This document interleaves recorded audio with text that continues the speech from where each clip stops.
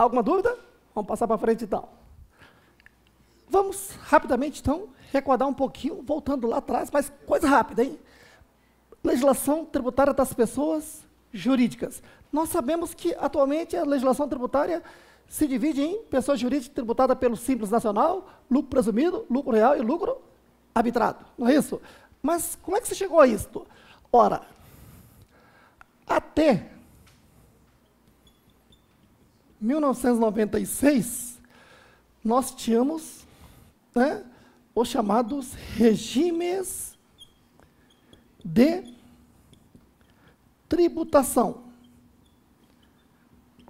Então, uma empresa poderia ser tributada pelo lucro presumido, lucro real ou lucro arbitrado.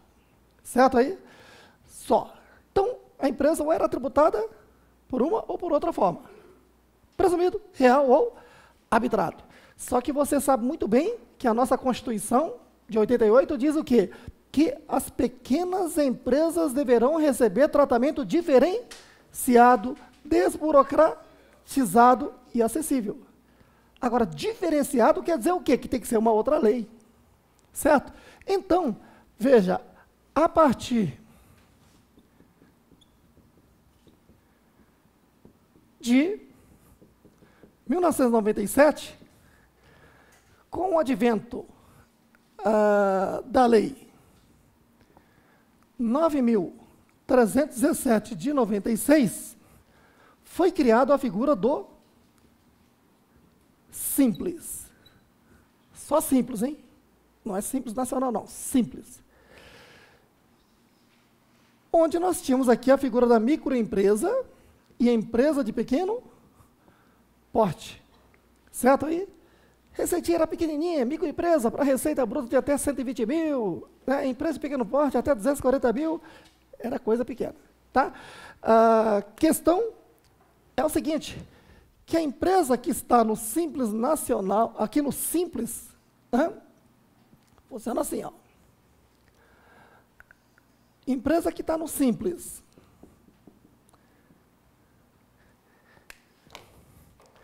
ela apura o imposto no final de um mês, digamos janeiro, o imposto unificado. E deve recolher até naquele tempo, dia 10 do mês seguinte. Naquele tempo. Certo? E aí, né, como se calculava esse imposto? Cálculo é igual hoje. Pego a receita bruta, aplico o quê? Uma alíquota e encontro imposto unificado. Agora, o que é que estava incluso nesse? Estavam inclusos nesse imposto unificado.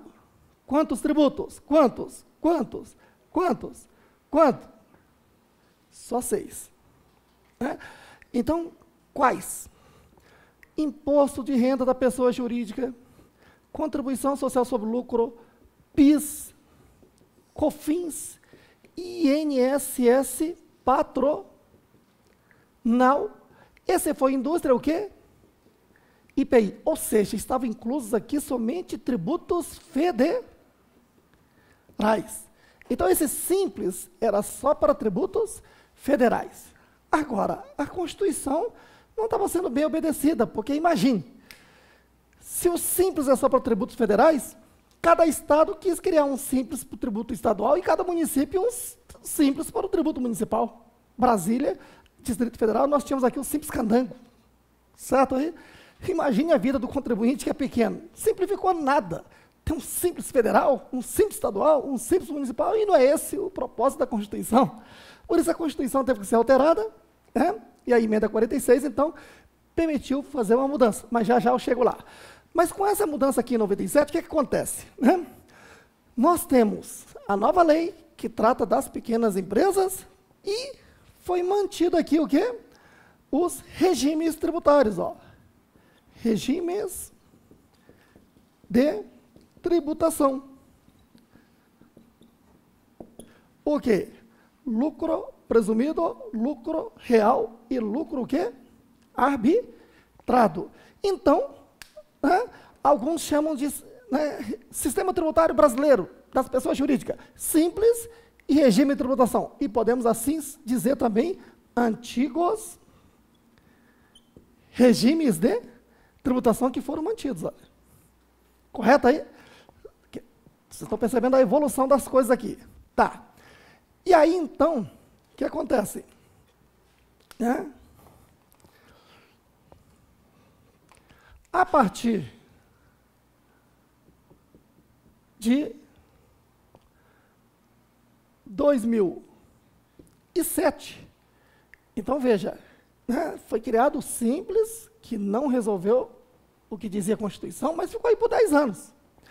Aí, a partir de 2007, nós passamos a ter aqui a Lei Complementar 123 de 2006, certo?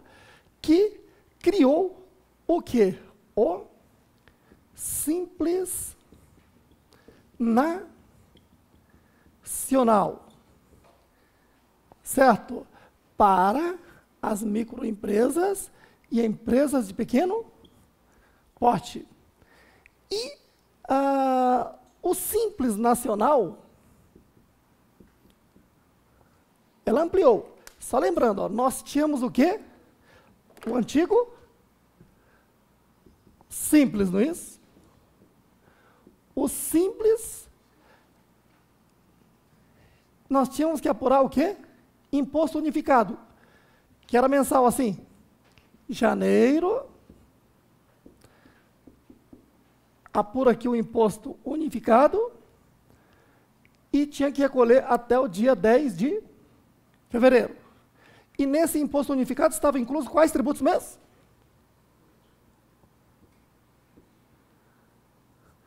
Quais mesmo? Imposto de renda da pessoa jurídica, contribuição social sobre lucro, PIS, COFINS, INSS patronal e IPI se fosse indústria, não é isso? A partir do momento que isto aqui passa a ser simples, nacional, apelidado de super simples, né?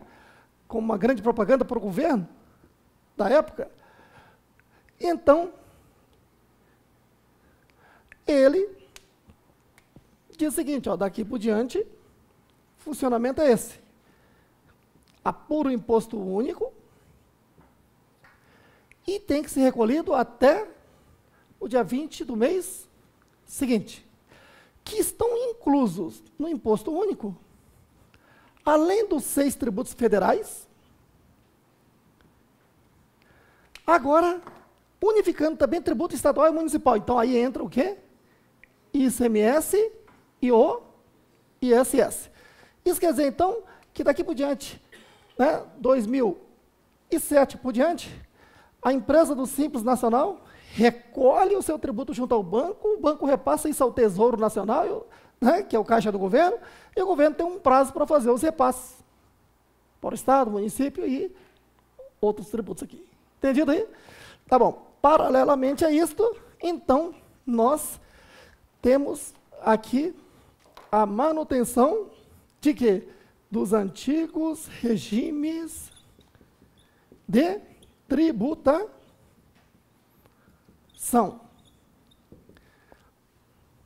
Lucro presumido, lucro real e lucro o quê?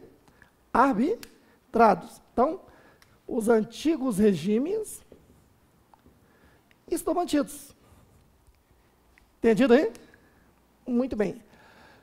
Até aqui alguma dúvida? acho que vocês conseguiriam chegar aqui à evolução, né? Porque hoje você só encontra lá, né?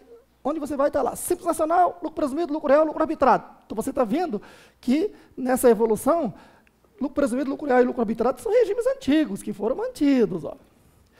E para atender a Constituição, né, o governo criou o simples, que depois teve que evoluir para simples nacional, e hoje então Simples Nacional realmente facilita, simplifica a vida da empresa pequena, onde ele faz um só recolhimento e já recolhe oito tributos de uma só vez. Certo aí? Lembrando que quem está no Simples Nacional tem que recolher os outros tributos. Por exemplo, INSS descontado do empregado, ele tem que recolher na GPS normalmente, que isso não está incluso no Simples Nacional, e nunca esteve. Certo aí? Se ele tem um carro, tem que pagar IPVA. Tem um imóvel, tem que pagar IPTU. Se faz uma exportação, tem que pagar imposto de exportação. Se faz uma importação, tem que pagar imposto de importação. O que está incluso no Simples Nacional são esses oito tributos só. Entendido aí? Muito bem. Já falamos tanto aqui em regimes de tributação, mas é que quem está no lucro presumido, lucro real, lucro arbitrado, mantém-se na tributação individualizada. Significa o quê? Que ele tem que pegar né, a lei do imposto de renda da pessoa jurídica e aplicá-la. Calcular o imposto e recolher numa guia. Pegar outra lei da contribuição social sobre lucro e aplicá-la. Calcular a contribuição social e recolher num outro DARF. Né? E assim fazer com todos os demais tributos. Certo? Então, quem está no regime de tributação, recolhe tributo o quê? De forma individualizada, tributo por tributo. Então, se você assessora uma empresa como esta, como contabilista, como tributarista, tem que entender de diversas leis, porque cada tributo é uma lei. E, se você assessora uma empresa que está no Simples Nacional, basta estudar o quê? Né? A Lei Complementar 123, que é a lei né, que manda recolher o tributo unificado. Entendido aí? Tá bom. Muito bem. Por isso é que nós falamos assim, de acordo com a legislação tributária das pessoas jurídicas em vigor, nós podemos entender que o universo de empresas, ou seja, todas as empresas do país, quais são todas as empresas do país? Empresário individual, sociedades simples, sociedades empresárias, que mais? Sociedade de economia mista e empresas públicas. Então, são todas empresas de direito privado que estão a mercê aqui da lei tributária. Né? E essas empresas vão estar enquadradas no Simples Nacional ou regime de tributação. Simples Nacional, se for micro, empresa ou empresa de pequeno porte. E regime de tributação, lucro presumido, lucro real e lucro arbitrado. Tá bom. Uh, a partir de 1 de 1 de 2013, a microempresa é aquela que tem receita bruta, receita da atividade fim só, não superior a 360 mil ao ano. Empresa de pequeno porte é aquela que tem receita bruta não superior a 3 milhões e 600 mil ao ano. Muito bem. Microempresa, 360 mil dividido por 12 meses, dá média de 30 mil. Empresa de pequeno porte, 3 milhões e 600 mil, dividido por 12, dá média de 300 mil. E lucro presumido, lucro presumido a partir, lucro presumido, lucro real, lucro arbitrado, mudou a partir de 1 de janeiro de 2014. É aquela que tem receita total, todas as receitas o quê? De até 78 milhões de reais ao ano, certo? Era 48, né? Aumentou para 78, certo? E não pense que o governo foi tão bonzinho, não, porque isso está sem desatualização desde lá de 98. Tá ok? Muito bem. E receita total acima de 78 milha, milhões, é grande empresa tributada pelo lucro real. E lucro arbitrado, existe o lucro arbitrado por opção e existe o lucro arbitrado de ofício. Certo aí? Isso aqui, então, né, é, pode ser por opção ou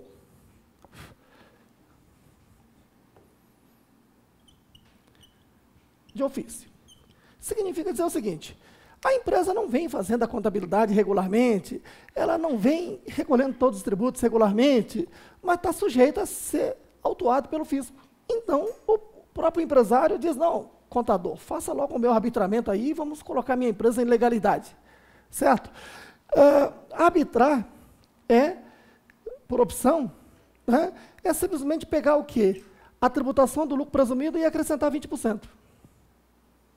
Certo? Agora, existe o arbitramento por meio de fiscalização tributária, onde o contribuinte sonega, descumpre obrigações principal e ou acessória, e o fisco pode dar uma pancada, e, nesse caso, o auditor fiscal vai tentar tributar. Primeiro vai tentar localizar a receita da empresa, não consegue localizar a receita porque ela não emite nota. Né? Aí ele vai tentar né, é, buscar a quebra do sigilo e tentar pegar o quê? A movimentação bancária. E não consegue. Então ele vai buscar outros meios. Né? A folha de pagamento da empresa é, é, um caminho, o capital da empresa. Então há várias alternativas de ir lá e arbitrar né, a, a empresa. Certo? Tá bom. Agora, seguindo. Antes ainda de entrarmos no assunto da nova lei tributária, regime tributário definitivo, vamos recordar algumas coisas aqui. Veja, pela legislação tributária, as pessoas jurídicas tributadas pelo lucro real, a partir de 2009, entrou nessa logística fiscal. Qual? Ela está obrigada à escrituração contábil digital. Quer dizer o quê? Tem que fazer a contabilidade no computador. Certo aí? Simples. No computador, vai aplicar a legislação societária, porque o fisco exige. E assim fazemos a contabilidade, o diário, o razão e todas as demonstrações que a lei societária exige. Só tem um detalhe. A partir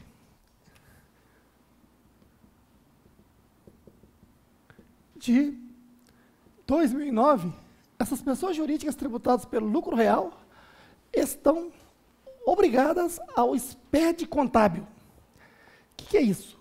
SPED, Sistema Público de Escrituração Digital. Certo aí? Então, o governo, por meio, de, de, eh, por meio digital, quer controlar a vida do contribuinte em todos os aspectos. Certo? A começar dos grandes e até chegar aos pequenos. Então, o que, que acontece? Até então, funcionava assim: de um lado a empresa, do outro lado o governo, o fisco. A empresa emitia nota fiscal, fazia contabilidade, a escrituração fiscal, apurava o tributo e recolhia. Depois ele declarava o imposto e guardava tudo isso. Do outro lado, o governo recebia esse imposto e acreditava que o contribuinte estava fazendo tudo certo. No momento que o governo, né, o sistema da Receita Federal entendesse por alguma crítica que aquele contribuinte possa não estar recolhendo todos os tributos, então o governo enviava um auditor tributário para ir lá fiscalizar. Certo aí? Aí, a partir de 2008, o governo disse o seguinte: eu tenho muita saudade dos meus contribuintes, quero me aproximar deles, se possível, dormir na mesma cama do contribuinte. Certo? E aí, então, em 2008, foi criado o SPED, Sistema Público de Escrituração né, Digital. Em 2008, o governo escolheu né, uh, algumas empresas, principalmente as públicas, uh, a título de piloto. Queres participar do SPED? Porque isso vai passar a ser obrigatório para vocês, não quer logo começar? E assim, as empresas que, que aceitaram fizeram um teste em 2008. E deu certo. O governo disse, puxa, isso é uma maravilha, esse SPED. Né? saudade vai embora mesmo. Vamos implantar isso no país. Aí o governo diz, oh, implantar o SPED para começar, a partir de 2009, para as pessoas jurídicas tributadas pelo lucro real, e aos poucos eu vou descer para o lucro presumido, e se possível chegar lá no Simples Nacional. Né? E o governo, naquele tempo, criou um projeto não oficial, mas que num prazo de 10 anos implantaria tudo isso no país. Certo? Mas enfim, isto ainda não evoluiu muito. Isso está obrigatório até hoje para a pessoa jurídica tributada pelo lucro real.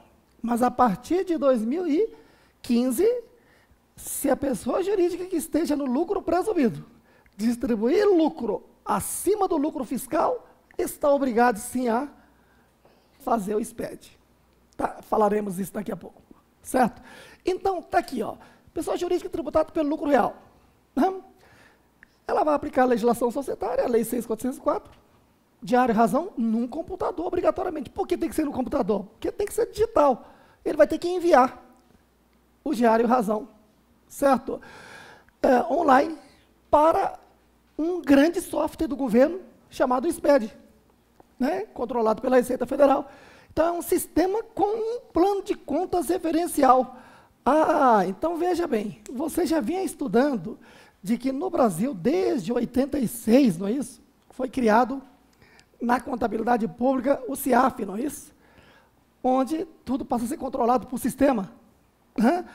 E está começando a acontecer isso na vida das empresas privadas também, certo? E o país está se organizando a isso. Quando você vai fazer uma comprinha, né, o supermercado pergunta, é com CPF ou sem CPF?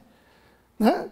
E assim, está começando a controlar todos, para que o CIAF seja implantado para as pessoas jurídicas e para as pessoas físicas, e pessoas jurídicas vocês já estão vendo que não vai mais precisar declarar, porque né, estará tudo sob controle.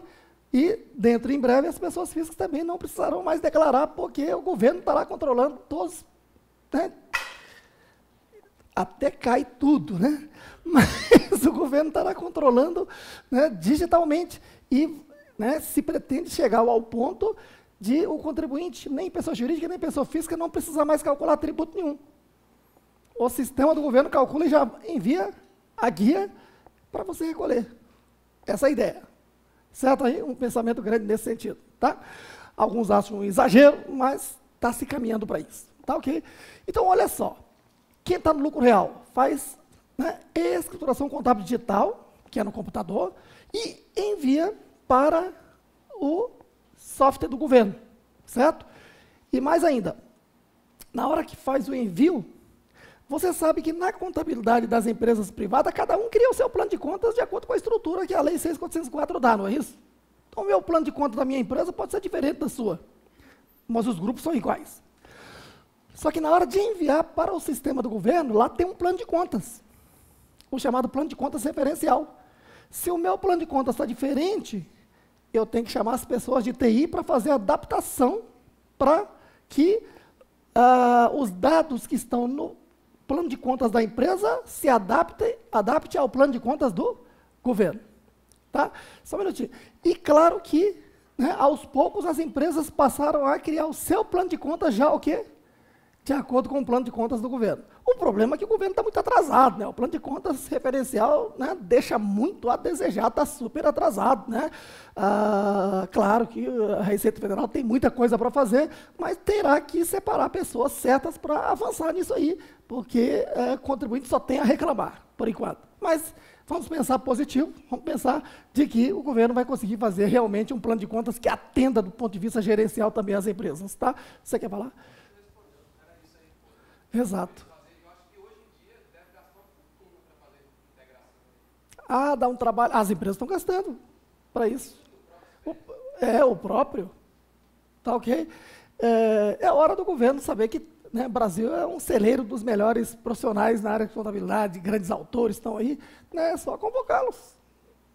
Né?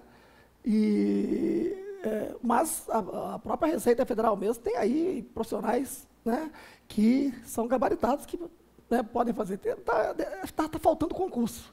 Deve estar tá faltando gente. Muito bem. Então, olha, né, daqui por diante, quando eu falar em SPED, você já sabe que é a contabilidade da empresa, a contabilidade societária que é enviada. Está claro aí? Estão entendendo assim? Toda vez que eu falar em SPED contábil da empresa, você já sabe que é a contabilidade digital da empresa que foi. Certo? Por quê? Porque daqui a pouco eu vou falar isso aqui, ó que a Lei 12973 de 2014 recepcionou todos os CPCs. O que quer dizer isso? Que aquela Lei 12973 será aplicada à contabilidade que está aqui no SPED. Se a contabilidade está aqui no SPED é a contabilidade societária, a contabilidade societária é a contabilidade CPC, concorda? Contabilidade internacional. Então, significa dizer que a lei tributária está o quê? Recepcionando os CPCs. Agora, uma coisa é recepcionar, outra coisa é admitir. Certo? Aí, aquela brincadeira que eu faço é muito séria, né? Você na sua casa, né? Num domingo, você recepciona a mãe e a filha para o almoço. Certo? Então, você abriu as portas e recepcionou. Mas você não admite a sogra. Por isso, né, já chamou um táxi para 5 da tarde e está na sua porta para levá-la. Certo aí? Ou seja, nós temos aí do, o, a lei 12973 tem 119 artigos. Do artigo 1 ao artigo 70, era né, 66, mas tem também mais é, quatro artigos que trata da implantação inicial. Então, do artigo 1 ao 70, ela recepciona todo, toda essa contabilidade, todos os CPCs. E os CPCs que ela não admitiu, lá no livro fiscal vai mandar fazer ajuste. Certo aí? Por exemplo, né? é, CPC 01, impairment. Toda empresa está obrigada a fazer o impairment, tu concorda? A lei tributária reconheceu essa contabilidade, mas não admite o impairment como despesa dedutível. Só admite como despesa dedutível a depreciação, amortização, exaustão e o custo na baixa, por alienação. Então, o que acontece? Eu comprei uma máquina hoje por 100 mil. Certo aí? A depreciação da máquina é dedutível. Está dentro do limite fiscal. Agora, eu fiz um impairment. Reconheci mais uma perda. Essa perda foi reconhecido, foi o quê? Recepcionado, mas não admitido. Então eu tenho que ir lá no Lalu e adicionar ou excluir? Adicionar ou excluir? Tem que revisar até isso. Daqui a pouco, então, tem que adicionar, né? Se entrou subtraído na DRE e não é dedutivo, tem que ir lá no Lalu e adicionar. Certo aí? Muito bem. Só que não para por aí não. A nova lei exige uma série de controle, inclusive contábil. Tá? Já já vamos adentrar nesse aspecto. Então, quero que você perceba o seguinte, ó. O que está em vigor, né? É, contabilidade digital, SPED, quer dizer, eu estou aplicando já todos os, o quê? CPCs aqui. E se chega a nova lei tributária